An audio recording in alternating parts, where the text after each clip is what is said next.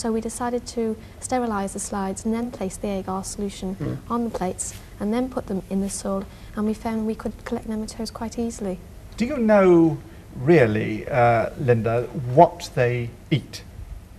Well, we think that they feed on bacteria, but we're not sure because um, they might be feeding on a byproduct of bacteria.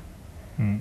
You, I mean, the bacteria get on, you think the bacteria might get onto the slide first and then the nematodes are yes, attracted there. Yes. Linda, have you tried growing your nematodes just on agar and beef broth without any bacteria there if you wash them first yes. in penicillin to try and get rid of them? Do yes. they grow on beef broth alone? No, no, we haven't found them on just beef broth. We've tried it by putting, transferring nematodes onto plates using a smear of bacteria and we've found that they have lived on there mm. and multiplied for a culture. What about in, in, in the wild? Do you, what do you think is their best source of uh, bacteria and, uh, and good food in, in the soil? We think it's soil bacteria because um, yes.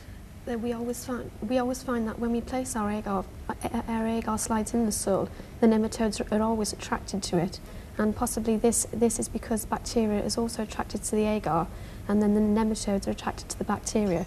Beverly, uh, what use are the nematodes? Do you think they play an important part in, in, in uh, some food cycle? Do you think they're a major part of the food, perhaps, of the earthworm? I don't think so. A lot of them, aren't there? There's a lot of them, yes, but I don't think the nematodes have to go into the earthworm for part of their life cycle. And, um, but they are, for our project, the use of it, I think, is that for people to become more aware of the things in the soil and yes. nature. Because it's really amazing. I wasn't meaning what use were you doing this oh, project. Oh, I mean, what use is the nematode? Is it, does it play some useful uh, we, role? In we don't know that. No. We've, we, have never found it played any harmful part in it because we have a theory, uh, it's very basic at the moment, that if bacteria, if nematodes do feed on bacteria, that possibly they, they are getting rid of bacterial colonies that are arising and so keeping the level of bacteria down in the soil, whereas if there wasn't nematodes, the bacteria level will increase and so destroy all plants I see. Yes. Mm -hmm. Thank you. Okay, girls, you can relax now, and I'll have a word with Aubrey. Aubrey, I'm a little bit confused as to whether nematodes are or are not parasites. Well, great numbers of them are. You know, they often live in the intestines of, uh, of uh, big animals, including ourselves. But they live in plants, and as, as uh, the Worcester team has shown, lots of them live in the soil. They really are, they're everywhere, as Linda was saying. They're very difficult to study, though. They are fairly difficult, and I think all credit to this team for having got down to looking at a really pretty difficult animal. And I like what Beverly said. I mean, we're unaware of the immense amount of life that's just teeming in the soil around us. But do you think that they've got the scientific understanding to follow it right through? Well, they've made a start. They've begun to look at factors like temperature and humidity and the presence of earthworms. I got some quibbles over their techniques. We've been arguing about them this morning, how, what's the best way to measure, but they're making a start on the right lines. And the measurements are right, are they? I think so far as they go, they're okay, yes. So if they brushed up on that side, they'd be on to a very valuable thing indeed. I think they've got something really good here and it can develop much further. Thank you very much indeed, Aubrey. Thank you also, Linda and Beverly, and of course, Shelley.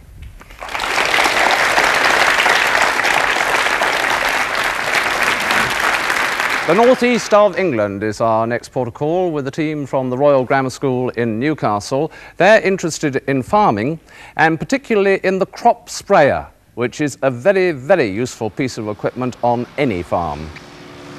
But there's one big snag, and that's the weight of water that we have to carry on the tractor, about 20 gallons for every acre. And in soft land, this can cause rutting, in which crushes and tears the young plants.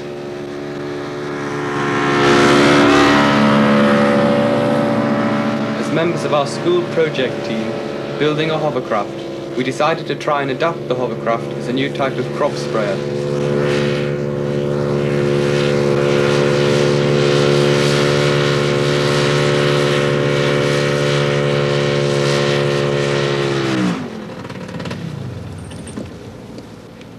Was this new development that enabled us to spray with the hovercraft. It creates a very fine mist by dribbling water through this tube onto the rotating head and it uses about a twentieth of the amount of water as a conventional sprayer does and so we have a lot less weight to carry on the hovercraft. The first thing we had to decide was the width of boom we needed, and we thought 20 foot was the right width. Each spray head has a spray of 4 foot, so we needed 5 spray heads for this. Then we had to decide where and how to carry the liquid to feed the spray heads. As the craft has to be balanced, we decided two small tanks would be better than one single one. These we positioned at the front, one on either side of the lift motor. Each tank feeds the two outside heads on its respective side. The centre head is fed from both tanks. This ensures that the levels in the tanks are equal One of the major problems is keeping the hovercraft in a straight line, so we decided we'd have to fit some wheels to steer the hovercraft and stop it from drifting sideways. We fitted two small wheels at the back which are steered by a system of link rods. We fitted one larger wheel at the front to stop the front end from swinging about. We fitted a speedo onto the front wheel so that we could keep the speed accurate, which is required for the type of spraying we're doing. Now that we can drive the hovercraft in a straight line, we have to have a system to see where we've been. We've designed our own version of the foam marker system. This uses the boom to carry the foam to this nozzle, which dribbles onto the ground and makes a mark. Now that the craft is complete, we're going to do some field trials on it to test its efficiency. We're also going to compare the results we get with those obtained by a conventional system. So to the questioning, starting with Heinz Wolff. Uh, Paul, uh, hovercraft are not new, and crop spraying with small volumes of liquids are- isn't new. So what, where would you say the real originality in your project was?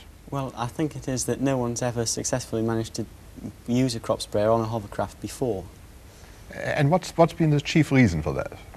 Well, there's been two chief reasons. That the um, one of them is that a hovercraft can't carry much weight, and for s- Mhm. normal spraying, you need a lot of water. But this system doesn't use very much water. And the second system is that uh, these steer wheels to steer it. Um, a hovercraft is normally very difficult to steer, and these wheels are to help it, and, it, and now we can steer it very accurately. And for crop spraying, this accurate steering isn't, is essential, is it? Yes, oh yes, you have to go in exact straight lines. In putting on wheels, Alistair, you've gone away a bit from the, the hovercraft principle, haven't you? Um, did you think of going further and putting the drive on the wheels? Well, we're considering this now, along with another alternative of uh, fitting a variable prop. It would be uh, make the speed very accurate if you did have driven wheels, because you could speed, uh, fix the engine revs to give uh, the desired speed. But uh, this might cause as much problems as a tractor with the, uh, the wheels tearing the ground. Yes. Yeah, I mean, your versatility is that you can go over really very soft surfaces, and uh, uh, the, the wheels at, the, at present taking no taking no drive at all will let you do that. But I, do you really think that that's that uh, going back to driving by the wheels is a way forward? Well, I don't know. We- We're going to investigate this, Mm. and uh, it's a question of which is the more feasible. Why is it necessary to have such accurate speed? I don't quite understand that. Well, the chemical's got to be sprayed on at the right dosage per acre, and uh, you've got to have the speed right to have this done. Whilst we're on the wheels, you made them yourself, didn't you, yourselves? How did you, it's a strange design with these uh, spokes sticking out. How did you decide that that was the right length of spoke and that was the way to do it, uh, Paul? Um, well, we tried longer spokes at first, um, but we found they got too much grip in the ground and it, it uh, was too much force on the wheels, so we just uh, shortened them until they were the right length. So a trial and error. Yes, yes. How does she perform on hills, Paul? Um, well, with these wheels on, it's very good at going sideways across a hill because you can you can hold it, whereas a normal hovercraft would slide down. But um, uh, and it's all right going up the hill uh, because it's being thrusted by the fans. But coming down, uh, we found that we've got no braking system on it.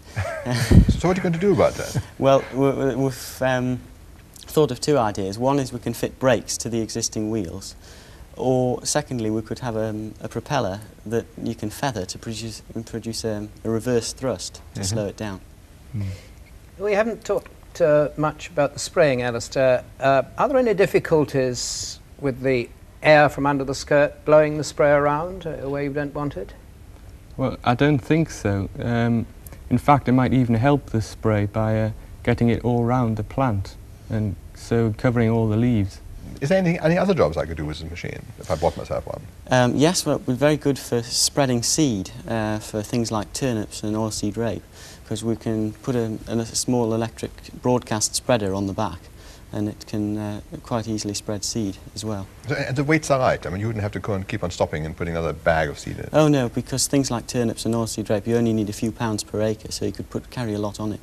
Right, assessment time again, and on this occasion it's with Heinz Wolff. Heinz, are you convinced that this could be a practical proposition? I think, I think it's, it's exceedingly plausible. Um, one, has a, one has a feeling that hovercraft are rather sensitive and fragile um, machines, but I believe that uh, Paul and Alistair have thought of this, and they really intend to make the next model with a steel frame and aluminium skin so that the farmer can't put his boot through it. It's got to be a little bit more rugged than this one is. Yes, I think they have to, they have to really think in aeroplane technology a bit more than, than tractor technology because weight really matters a lot.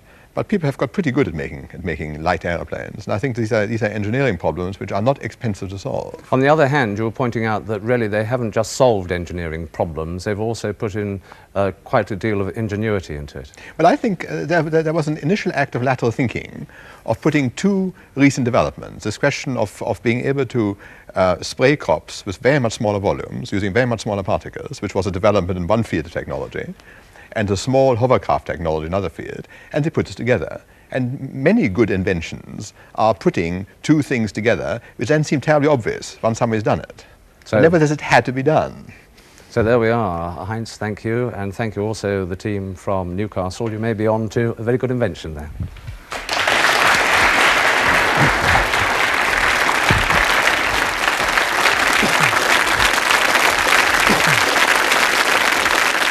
Now, this year, the judges will be scoring each of the teams out of 100 points. I would like to point out, though, that those points are awarded not just on the basis of the question and answer sessions that you've seen during the programme, but also upon literally hours of conversation between the judges and the teams, and also upon even more hours of studying their project notes. Now, to give Sir George and Aubrey and Heinz just a few moments to make up their minds about this week's teams, let's have a look at some of the things in store in next week's programme. From Oxford, equations with a difference. From Halifax, what's the use of grass? And from Malvern, some faults in the hills. All that and more next week, but now this week's scores from Sir George Porter. Well, taking the, the, three teams in the order in which we saw them, first to Lanark for their discovery that the textbooks are not always right, for their excellent experiments uh, with which they've pursued the problem in a logical, scientific way. The judges give 73 marks.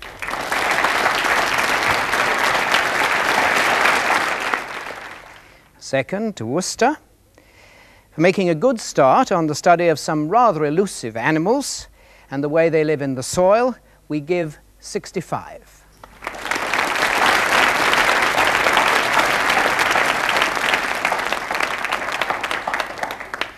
And last but by no means least, Newcastle, for their successful engineering of a working hovercraft sprayer, which is novel and potentially very useful, and for the enormous amount of work that they've put into it, the judges have given 82.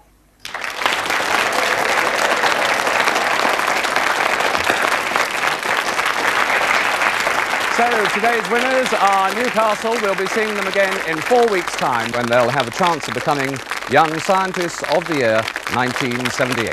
Goodbye.